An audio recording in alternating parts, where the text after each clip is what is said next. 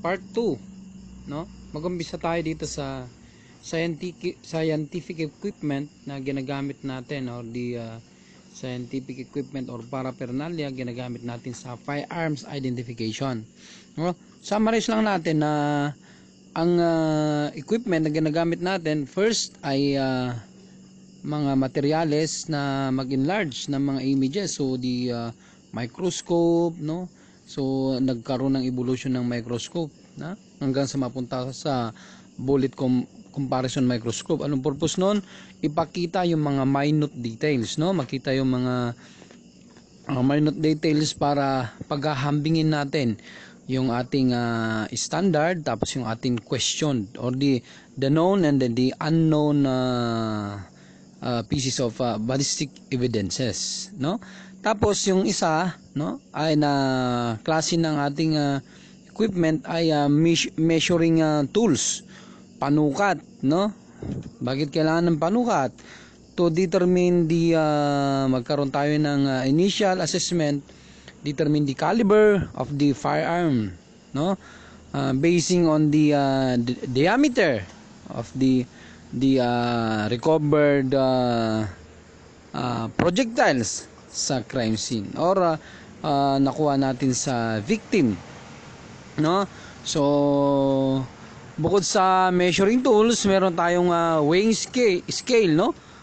Pantimbang. Halimbawa na deform na hindi mo naman masukat. So pwede nating timbangin no? Para malaman natin yung kung uh, ano yung possible. Magkaroon tayo ng initial assessment kung uh, ano yung possible caliber ng uh, firearm na ginamit no so uh, makikita nyo dito no? So una yung ating uh, bullet comparison microscope. Ito na yung ating pinaka latest na equipment pagdating sa enlargement ng mga details ng mga ballistic uh, uh, evidences no? So ang uh, pinakamagandang uh, uh, features nito ay yung intermarriage no? Kasi yung dalawang ebidensya yung dalawang ini-examine natin the uh, the uh, known and then the unknown uh, uh, pieces of evidence pwede nating uh, pagdikitin no? Ito yung kaya ang tinatawag na intermarriage. Pag uh, samahin mo siya makikita mo ngayon unti-unti mong pagbabanggain sila kung meron silang pagkaka parehas meron yung tinatawag na congruency no? Kung parehas na parehas nga yung mga striations nila so hindi lang dun sa bullet pwede din sa shell no? Dun sa sa no? Breech face markings o kaya pwede din yung firing pin markings no? And so on and so forth no? Then uh, next would be the stereo stereoscopic microscope no?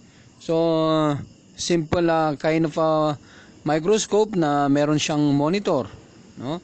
Then uh, the shadow graph. Anong gamit ng shadow graph uh, series of, series of uh, microscopic uh, lenses of different magnification that can be used in examining fired bullets or fired shells to determine the class characteristics and also their uh, for orientation purposes. So, ano ba yung mga class characteristics at saka individual characteristics, no? Ang class characteristics mga kasama, no? Ito yung katangian ng baril na hindi lang siya meron. Sa buong uh, grupo ng baril na yan ay meron sila. Halimbawa, uh, caliber 45. Ba? Ano mga make and model yan? Basta caliber 45, kaya nga tinawag na caliber 45, yung bala nila ay caliber 45 class characteristics 'yon. 'Di ba? Kung uh, lahat halimbawa ng halimbawa yung uh, caliber 45 na gawa ng arms core, kung ito man ay right twist or uh, or left twist yung kanyang uh, riflings, class characteristics 'yon. Individual characteristics, ito yung katangian ng baril na siya lang ang meron. Uh, halimbawa yung uh, bullet striations na matatagpuan doon sa mga bala na pinutok mo sa kanya. Siya lang yon Kahit halimbawa mo, halimbawa sabihin natin na iisa ang uh, manufacturing, iisa ang model, no?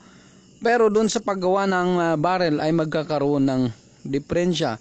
No, magkakaroon ng uh, sarili silang fingerprint uh, impressions doon sa mga bala, no? So Uh, this instrument contains a large ocular ground glass and a diameter about 14 inches wherein the observation and comparison of class characteristics is done similarly with the bullet comparison microscope. The next is the uh, CP6 comparison projector. So these are ano, ma- makikita niyo halos uh, similar din sila. It's a uh, microscope pa rin. Then the uh, uh, that it is this instrument was uh, invented by William Howard Levens. Then uh, the bullet recovery box. Bullet recovery box, nakikita niyo naman sa school niyo 'yan. Sa madalas nilagay din sa sa firing range, yun yung uh, puputukan ninyo tapos puno siya ng bulak, no? Kung saan ah, para makuha nyo yung slag na walang na hindi nakatama sa matigas na bagay para makikita natin yung mga striations na meron siya. So yun yung bullet recovery box. Kaya recovery box, no? Kasi ah, pwede nating ah, ma-recover yung ah, bala na pinutok natin doon. Doon natin i-examinin para malaman natin yung characteristics ng uh, firearm para malaman natin yung kanyang classification, no? So, next would be the helixometer. So, helixometer ay uh, measuring uh, device.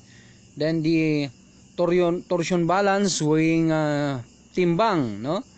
Then uh, uh, micrometer or the caliper, pangsukat na rin ng uh, size, no?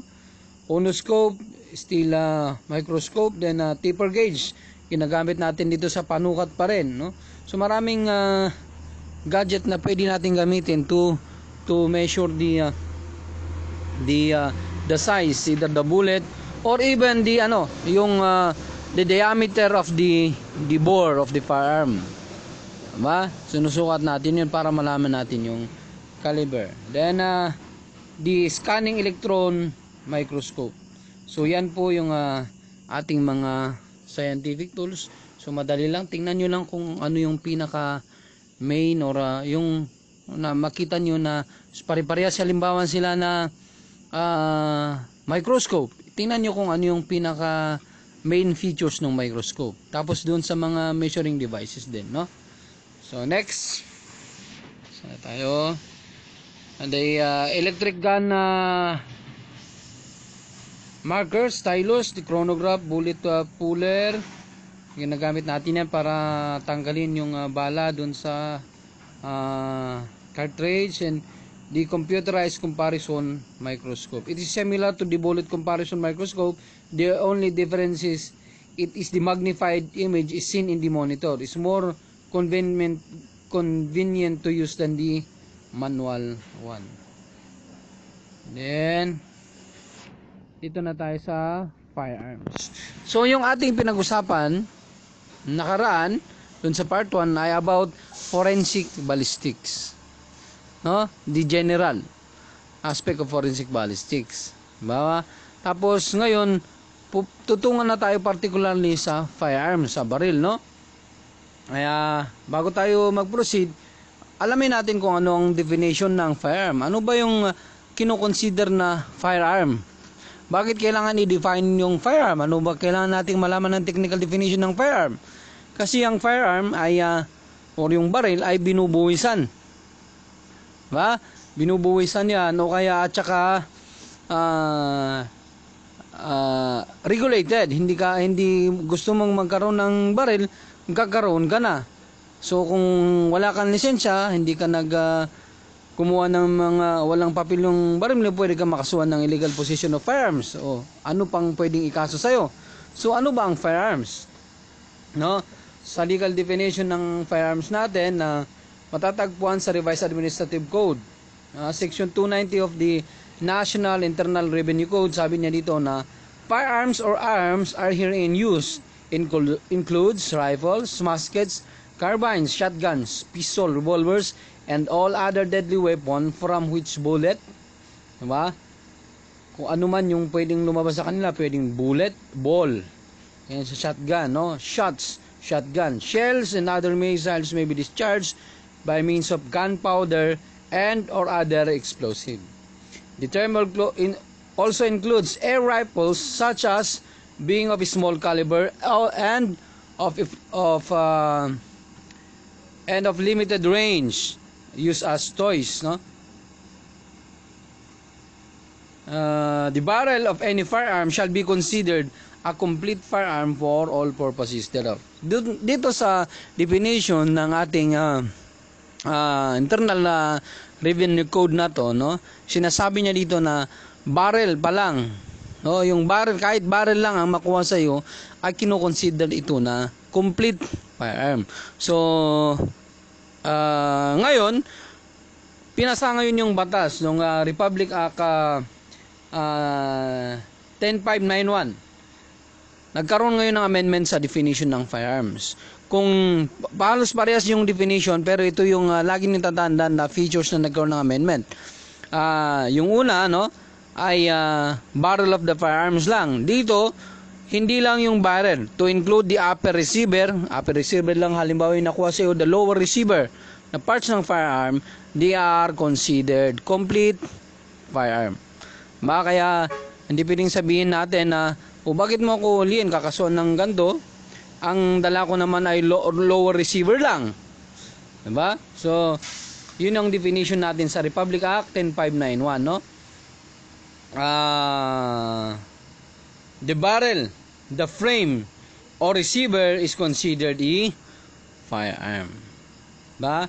O, technical definition naman, pag sinasabi nating barrel, ano mga gamit na naglalabas ng ah, projectile na ang gamit ay expansive force of gases coming from the burning gun powder. Technical definition yan. Ano ba ang barrel technically? Diba? Pero legal definition pinaparusahan nung ah, nung ah, ating batas, no? Na sinasabi na kahit barrel, frame, the receiver ay considered na complete firearm. Dito sa ating batas, bagong batas, Republic Act 10591. Ito din po yung dahilan na bakit ngayon yung pagkuha ng lisensya natin sa security ay hindi na 18 years old to 50, no? Naging 21 na. Kasi nga nagkaroon din ng amendment ng pagbibigay ng ah, ah, permit to carry ng firearm, no? Dapat ah, ito binibigyan lang yung mga edad 21 pataas. Kaya ganun din, sumunod din sa security kasi hindi naman pwedeng na 18 years old ka na gwardiya, bigyan ka ng lisensya, edi pag ma- ma-deploy ka, hawak ka rin ng baril, no? Ah, nagkaroon ng mga amendments yan dahil sa mga ah, mga nakaraang taon, no? Ay ah, nagkaroon ng nakita na abuses ng paggamit ng firearms. Kung sino-sino na merong may mga PTC, no? Tapos namamaril sa EDSA, konting konting problema lang ay nagkakasagutan sila kaya nagkaroon ng amendment doon sa nag medyo inistriktuhan yung pagkuha ng permit to carry ng firearm natin. Ngayon pumunta tayo sa history ng firearm, no? So sa history ng ating firearm, so may history tayo ng forensic ballistics, meron din tayong history sa firearm mismo sa baril, no? So ang paggamit ng ah, baril, no, maraming nagsasabi na sino man yung mga naulang gumamit ng baril, ya ba? Kaya lang yung iba ah, mostly mga ano lang ah, mga, parang mga kwentong bayan lang. Pero itong mga recorded na ah, nag, nagpakita kung saan ginamit talaga ang baril, no? Ay ah, in Europe in a- 13th century, many stories have been told about the discovery of gun uh, gun- gunpowder, but most uh, but most are leg- legendary and have little support facts. It also often that gunpowder was first invented by the uh, Chinese and then the Arabs with their advanced knowledge in chemistry at the time. Uh, may have developed it independently, no? One of the earliest recorded uh, use of firearms, no? Ito yung uh, attack in Seville, Spain nung uh, nung 1247. 'Di ba? Uh, history showed that cannons were used by uh, King Edward III of England and Crecy and uh, uh, 1346 also and by Muhammad II of Turkey in his famous conquest of Constantinople in 1453. Doon nakita natin na ginagamit na yung firearms. Pero ang mga unang na-discover na baril makasama ay yung mga malalaki. So mga cannons, 'di ba? Kaya hindi nadadala ng mga sundalo, no? So hanggang sa nag-evolve siya at nagiging naging ah, portable na, pwede nang dalhin ng mga sundalo. So, unang na-discover ay mga big guns, yung malalaking baril, no? As we will ah, be able to differentiate yung malalaki, malalaking baril sa maliliit na baril. Next. Men behind firearm. History muna tayo, no? Roger Bacon, an, an, English monk and scientist who credited for the invention of gunpowder in in uh, 1248. So Roger Bacon. So anong uh, contribution ni Roger Bacon? Invention of gunpowder in 1248. Berthold Schwartz, ano naman yung uh, kanyang uh, contribution? Uh, credited for the application of gunpowder for propelling a missile in the early 30 in the early 1300s. Then uh, Colonel uh, Calvin Calvin Hooker Go, Goddard 1891 to 1995 ba? Forensic chemist army officer uh, researcher and a pioneer on uh, forensic ballistics in uh, 1925 so he wrote an article to the uh, Army Ordnance titled Forensic Ballistics in which he describes the use of comparison microscope regarding firearms investigation. So, ginamit na yung comparison microscope. Diba? Para makita yung mga minute details ng mga uh, forensic evidences. Diba? He uh, is uh, credi- generally credited, uh, credited with the conception of the, the term forensic uh, ballistics though he later admitted it to be an inadequate name for the science. He was considered as the father of forensic ballistics. So, uh, nice uh, isang mahalagang ter, uh, personality natin, no? We have your Hor- here uh, Horace Smith no sa kanyang contribution sa Smith and uh, Wesson firearms. Kasama niya si uh, Wesson, no? Then uh, we have your uh, here uh, Daniel uh, Baird Wesson. Yan so tingnan niyo lang kasi masyadong uh, mahaba, maubos yung time natin. No? So you just uh, read the uh, this uh, important person and then their ano yung kanilang mga mahalagang contribution. Diba? Important contribution in our uh, in a forensic uh, in the firearm. Uh, David Carbine Williams. Uh, he was the maker of oh, the first known carbine.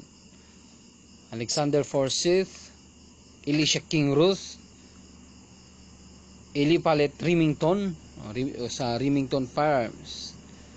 Uh, next para ma pwede niyong screenshot siya no uh, John Marlon uh, Marlin James Woffley Ripley you know Samuel Gold, uh, one uh, of the important important personalities kahit naman yung Ripley no? Na alatalos naman ng mga to. Dala pa rin ng mga company yung kanilang mga pangalan sa pag-produce ng mga firearms. Henry uh, Derringer. Then we have uh, John Thompson. Uh, pioneer the making of Thompson Then uh, Hiram Maxim, ba?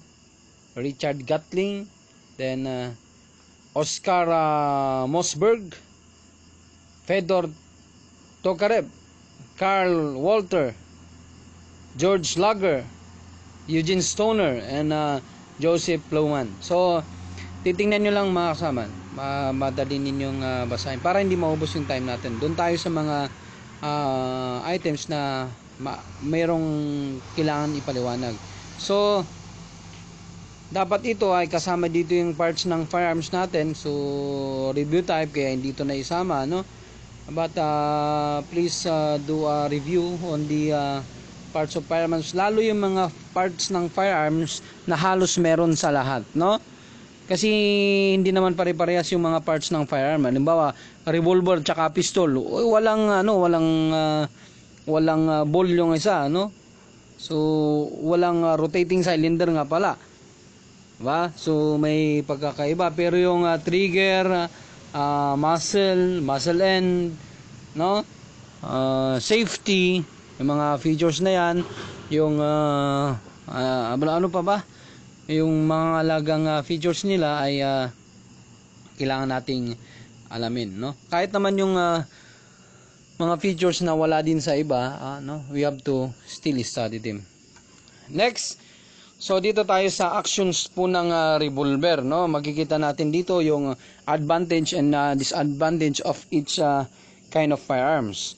So sa revolver, meron pong dalawang ah, klase, no? The single action revolver and the double action revolver.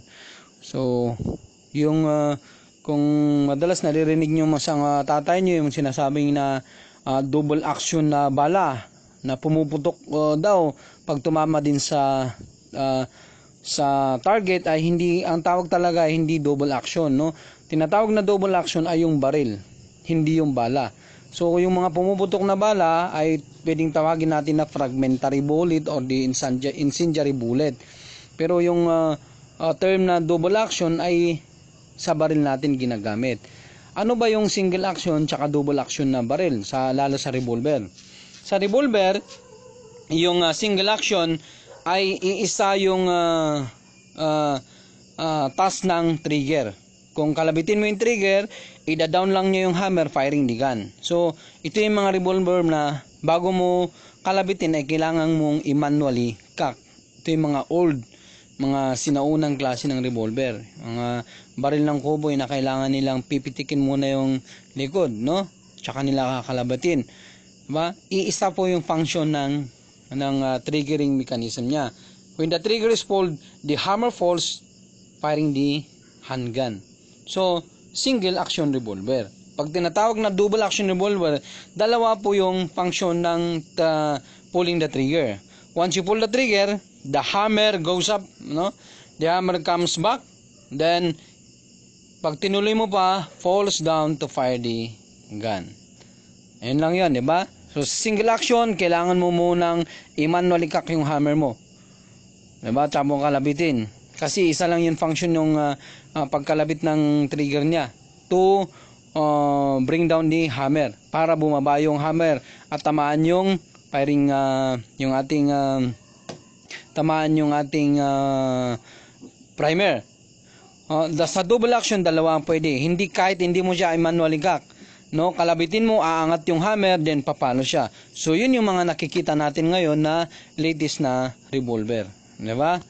So, sa pistol naman, no, sa action ng pistol, meron tayong tinatawag na semi-auto, no? Well, merong automatic and semi-auto, no? So, semi-auto, ano yung semi au- semi-automatic na pistol? When the pistol is fired, the slide moves rear, no? Pag putok mo ng isang kalabit mo, pumutok, automatic, aatras yung slide, at kukuha ulit ng bagong bala. Mag-scrape siya sa magazine, in-feed niya sa chamber. Ready for another firing. So, semi-auto. Di ba? Hindi mo na kailangan every shot ay kailangan mo pang mag uh, kak ulit. Di ba? So, yun ang semi-auto. The slides move rear, ejecting the spent cartridge and usually cocking the pistol in the process. The cartridge located in the magazine are forced upward by the magazine into the spring part of the slide. When the slide under pressure from the recoil spring moves forward and picks uh, and picks up and pushes the next cartridge into the chamber ready for, for firing again. So yun po yun. Pero isa-isahang pindot, isa-isang as you want to fire, you have to uh, pull the trigger. Pero automatic po yung uh, kanyang reloading. Dahil doon sa uh, epekto ng recoil, no, umaatras yung ating slide, uh, dispensing the used cartridge, then scraping another or the fresh one. Then yung ating uh, susunod, yung ating uh, automatic pistol, uh, bakit uh, tinawag na automatic? The firearm can fire continuously as long as the firearm can fire uh, continuously as long as the trigger is pulled. Hanggat di mo binibitawan yung gantilyo, no, uubusin niya yung uh, nasa magazine. So, that is automatic pistol. Tapos yung isa, no? Selective type. Yung pwede mong semi-auto at pwede mong i-auto. Yan. So, yun po yung action ng pistol, action ng revolver. So, firearms, definition of firearms. So, na-discuss na natin kanina, no? So, yung definition na binigay nung ating ah, ah, sa ah, revised administrative codes ng National Internal Revenue tapos po yung ano tapos yung ah, ah, re- ah, definition na binigay ng Republic Act 10591 no so dapat alamin natin kung ano yung tinatawag na firearms. So sabihin mo toy gun. Baka naman kasama yan sa definition. So unawain natin yung definition and we'll be discussing that as we go further no? Hindi mo sinasabing barrel lang naman ito no? So kasama pa rin hindi sa complete firearm. So next technical definition. Alam niyo na yung technical definition ng firearm na discuss na rin natin. So meron pong classification ng firearms. According to the uh, uh, power of actuation ng mga conventional arms. Diba? power of aka, ak, ah, tama power of actuation no? Three system of power of actuation ng firearms. Paano sila nag-ooperate meron po tayong tinatawag na gas operated recoil operated and the blowback operated. So gas operated tinawag na gas operated kasi dahil sa ah, expanding gases no yun po yung nagtutulak nagka nagtutulak nung ating bolt rearward tulad halimbawa isang magandang example natin sa gas operated ay yung ating ah, ah, M16 rifle o di Armalite no? So automatic or semi-automatic firearm with a lock breech that uses small amount of expanding gases created by burning gunpowder to cycle the action to cycle the action in the sense na yung ah, gas na yon na ah, bumabalik para itulak yung bolt. Diba? Pag tinulak na reward yung bolt, yung mga nag, yung nagamit na cartridge na madi-dispense, yung bolt mag pagbalik niya, mag-i-scrape ulit siya ng bago na bala doon sa ating magazine, feeding it to the chamber ready for next firing. So gas operated 'yon. Yung recoil operated naman ay yung balik nung ating ah, bolt or yung ating slide ay dahil sa recoil, yung pwersa ng ah, ng ah, bala ah, na binigay nung ating powder charge. Kaya umatras. 'Di ba? Umatras yung ating ah, slide kasama dun yung ah, kasama dun yung bolt natin, no? So recoil operated 'yon. Sa blow- blowback operated, no, na naka-steady yung ating ah, sabi niya dito in which breech is not locked. Yan. Dito kasi sa taas, a lock breech, 'di ba? Or semi-automatic or system. So, 'yun ang pagkaiba ng dalawa, no? Sa recoil operated, lock yung breech. Sa blowback operated, ah, hindi nakalock yung breech. Kasama siyang atras. 'Di ba? Kasama siyang atras, no? Ah, dispensing the charge, the, the cartridge then scraping fresh. Dun sa ating recoil operated, no, nakalock nakalock yung breech natin, no?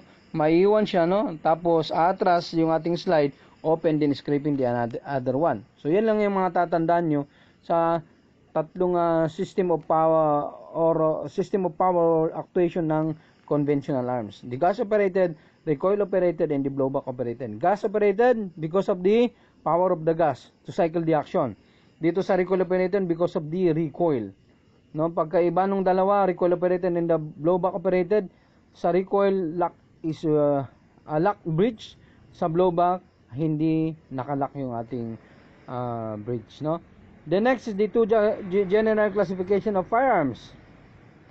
The smooth bore and then the rifle bore firearms.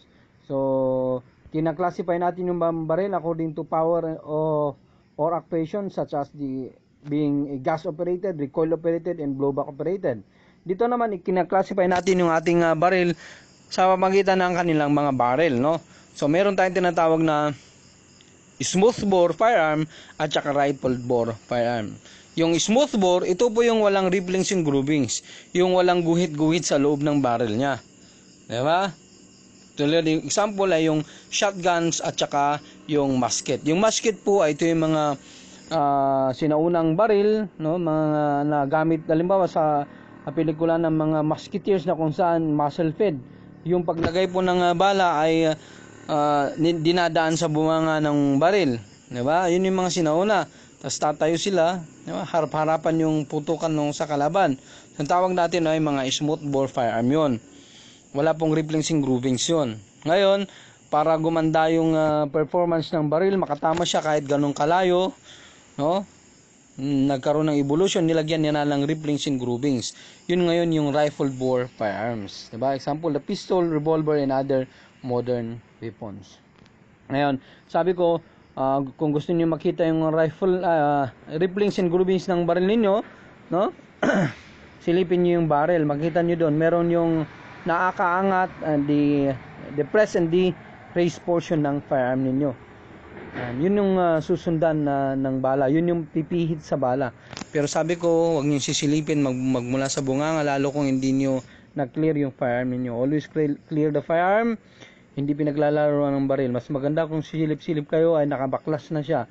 O kaya dito kayo sisilip sa likod sa may chamber mismo. Pero sa long pwede yung silip-silipin. Minsan sa short hindi naman siya gaano maaninag, no? So, another uh, types of firearms. Ah types of firearms according naman ito sa laki ng mga bala no? Na lumalabas sa kanila. So yung una ay tinatawag na artillery.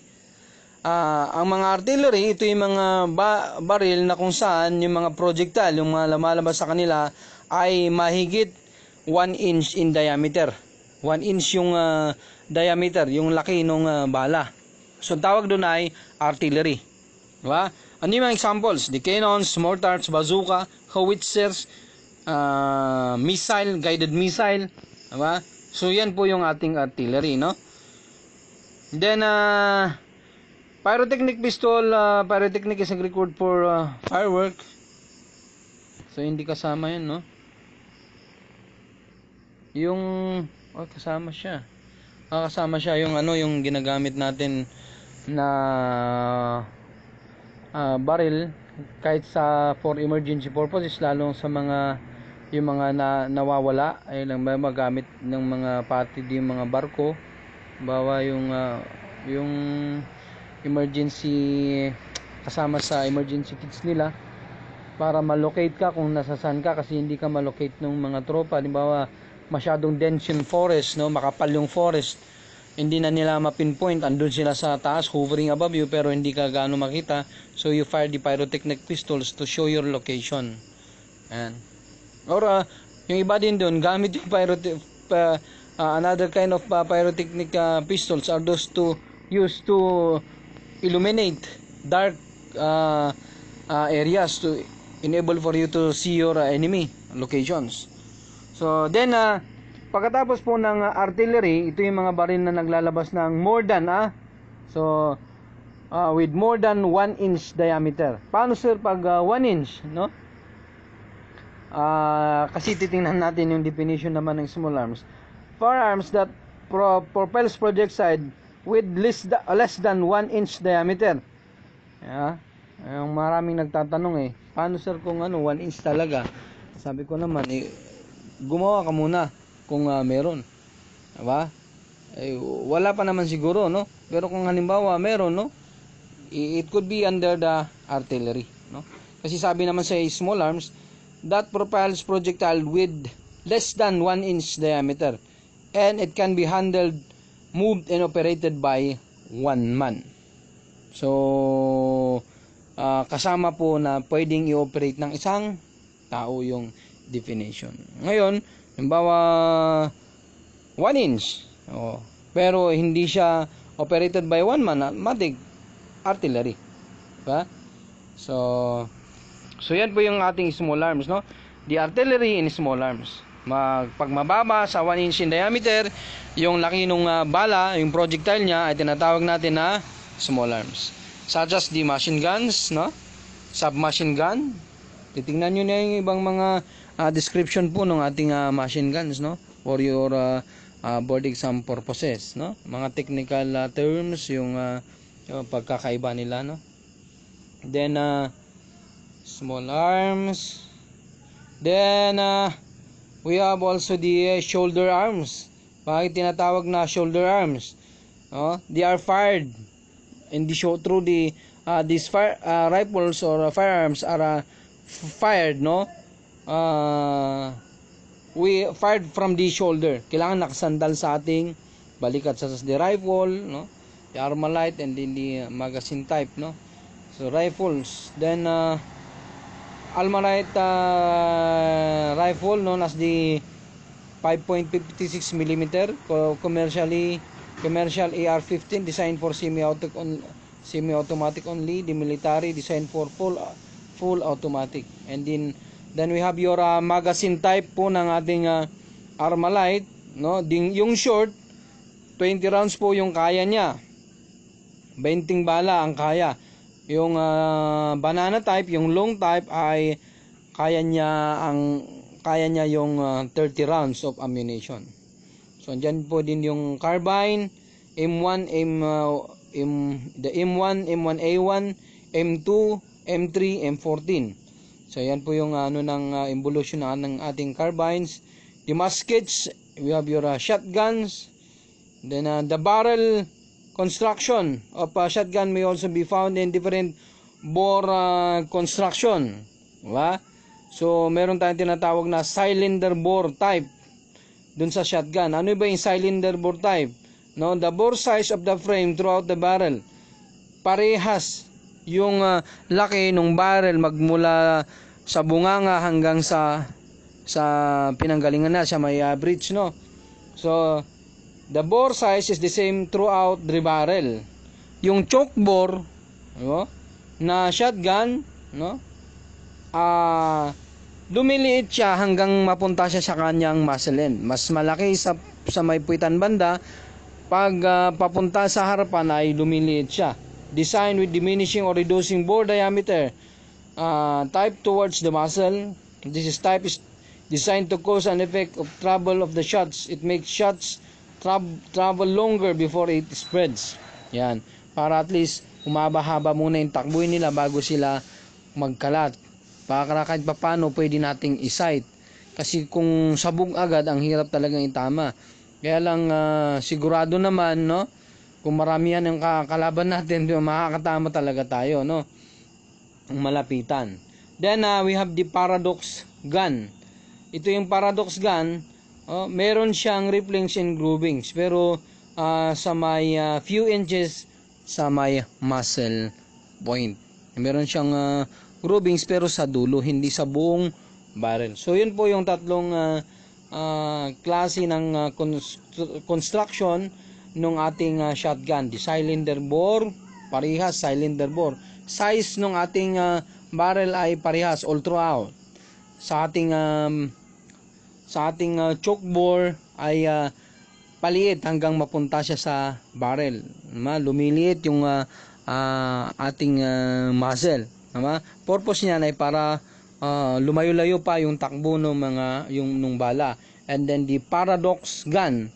Uh, meron yung riflings and groovings yung ating barrel but in the uh, few inches lang muna uh, lang nung uh, uh, sa malapit na sa muscle end. Diba? So, types of uh, shotgun. Diba? According to number of barrel. So, makikita nyo ito sa mga sa Olympics, no? Makikita nyo may mga uh, kadalasan dito nyo gaano makikita, no? Si uh, bihira naman yung nag-i-sport nung uh, nakikita natin na ordinarily wala naman naka-issue sa mga gwardiya na double barrel na shotgun, no? Sa kung nanonood kayo ng Olympics, dito niyo ma- mapapanood, no? Yung uh, single barrel, isang uh, barrel siya. Tapos meron yung double barrel. Ang dalawang bunganga. Pero yung uh, double barrel, dalawa din yung klase. Meron po yung side by side, magkatabi, magkasa yung uh, barrel. Meron naman yung over and under. Yung isang bunganga nasa taas, isang bunganga nasa ilalim. Diba? Meron yung yung yung side by side, diba? magkatabi, no? Side by side nga kaya side by side. Yung isa naman magkapatong. Yun yung uh, over under, yung isa side by side. Then uh, next, handguns. Ba? Bakit tinawag na handguns? Ba yung isa ah, shoulder ah, firearms. Bakit tinawag na shoulder firearms? Kasi pag ipuputok natin ay shoulder arms, pag ipuputok natin ay fired from the shoulder. Ngayon naman ay handgun. So pwedeng kamay, kamay lang, no? Gamit natin such as the pistol, diba? Then revolver. Ang revolver ay ah, meron pong ah, klase, no? The single action na discuss na natin kanina, single action revolver, the double action revolver, tapos yung ano, yung ah, swing out cylinder, tapos yung top brake. Dalawa pong klase ng pistol. Yung swing out, yun yung tinutulak mo yung cylinder para lumabas ay yung ah, cylinder, no? Tapos pwede mo siyang lagyan ulit ng bala. 'Di ba? Yung isa namang klase ay yung top brake, yung hihi, may hihilain ka muna dito sa ilalim ng barrel para mabali, then tapos ilabas mo yung oh, ilabas mo yung dispense cartridge tsaka ka ulit mag-reload. Dalawang klase ha. So, the uh, swung out, di ba, cylinder, and then the top brake. O, tip up or the top brake. O, ah, dito tayo sa advantage ng revolver over the over uh, pistol, no? So, safer to use ang, ang ah, revolver kahit hindi gaano sanay sa baril ay pwede niyang magamit. Ba? So, misfire does not ah, put revolver out of action. Kahit hindi pumatak, pumutok yung unang bala mo, no? Pwede mo ulit kalabitin. Hindi na kailangang ah, mag-release magazine pa tapos tanggalin mo yung naka-chamber na ah, hindi pumutok na bala, mga dad bullet. So di sa revolver basta kalabit ka lang. Naka-ready ulit yung other ah naka-ready ulit yung other ah, bullet, no? So uh, fired shells are not ejected from the cylinder uh, from the chamber. Ito yung mga gumagawa ng krimen. Siyempre kasi para walang ebidensya. Kasi naka-lodge pa rin dun sa ating cylinder yung ating shell. Pero hindi ibig sabihin ay paano naman yung uh, bullet mismo kung yun ang na-recover, 'di ba? So this does not uh, always require jacketed bullets. So hindi siya ganun ka sensitive. Disadvantage naman niya, no? Ay uh, difficult to dismantle and clean after firing. Mahirap siyang uh, baklasin at linisan pagkatapos mong gamitin, no? So, madalas halos pang ang baklas nito ay uh, factory ah, yung pagbaklas natin, no? Tapos, slower to load, mabagal. Di tulad ng pistol, magazine fed, fed lang siya, no, ready to fire agad. Eh, Sa bagay, meron din naman speed reloader yung yung ating ah, revolver pero in, mas mabilis pa rin yung ating ah, pistol. Siyempre, eh, magazine na, di ba?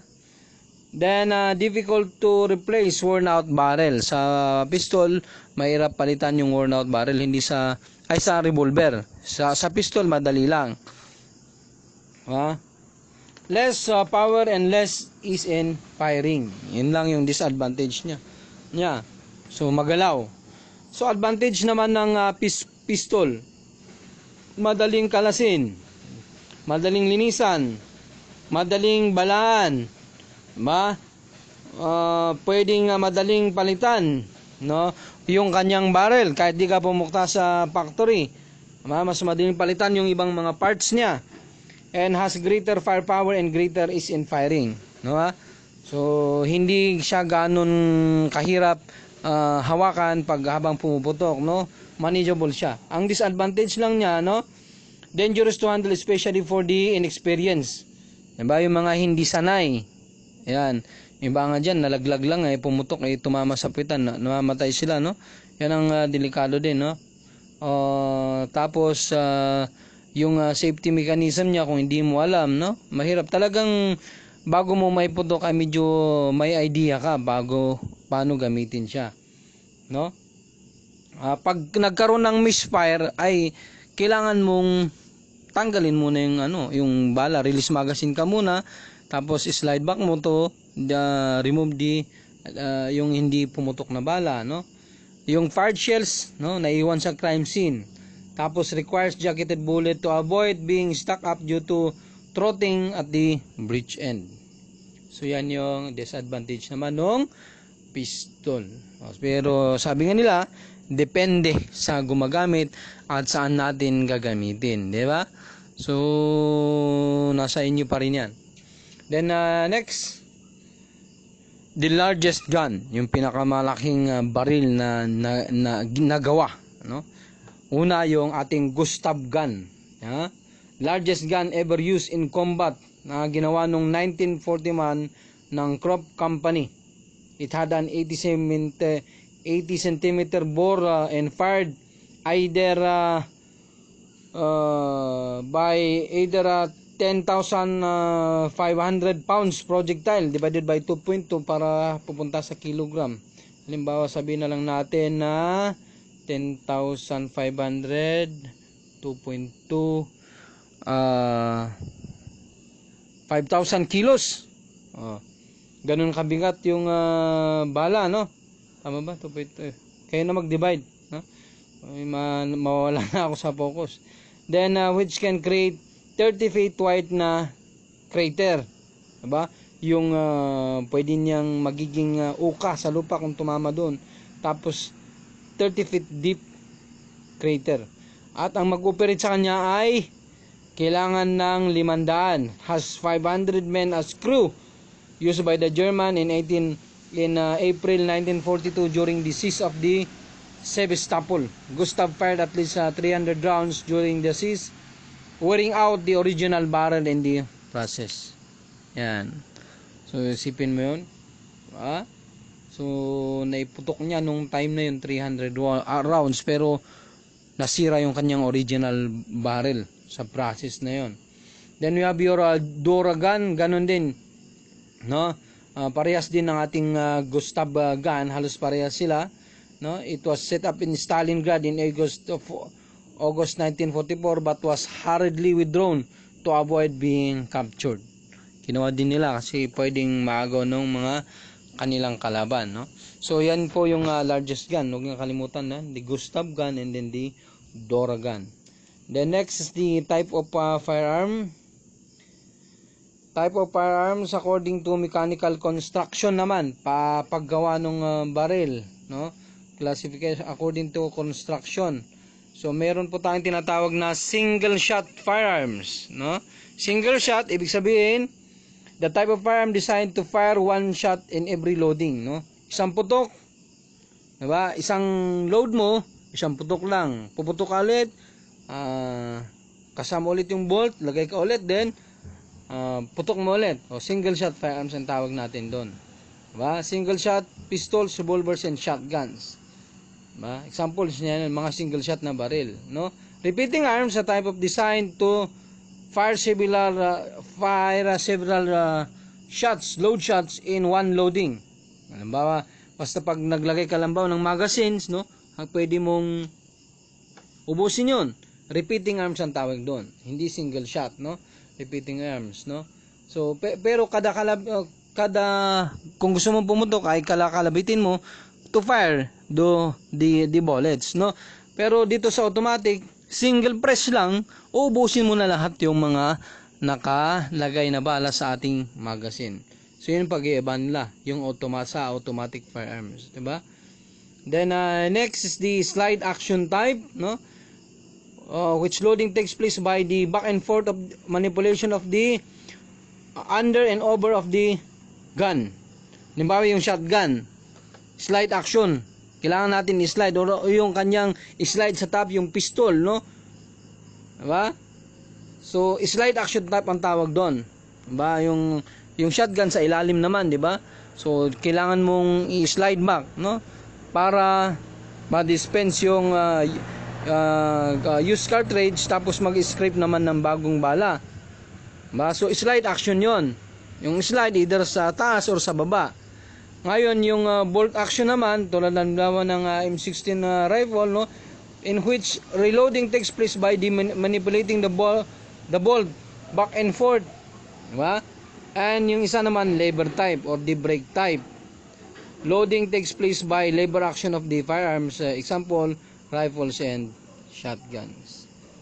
So, some miscellaneous type of gun, ito yung mga uh, mga kinukonsider natin na barrel no na hindi naman kabilang sa ating mga pinag-usapan. No, yung cane gun o yung mga gawa-gawa na ah, ah, tungkod pero baril pala siya, no?